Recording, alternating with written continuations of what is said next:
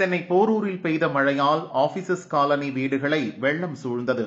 மழை நீருடன் கழிவு நீரும் கலந்ததால் மக்கள் அவதியடைந்தனர். வீடுகளை விட்டு வெளியே வர முடியாமல் முடங்கி உள்ளனர். வீட்டுக்குள் வந்த நீரை அகற்ற வேண்டுமென மக்கள் வலியுறுத்தினர்.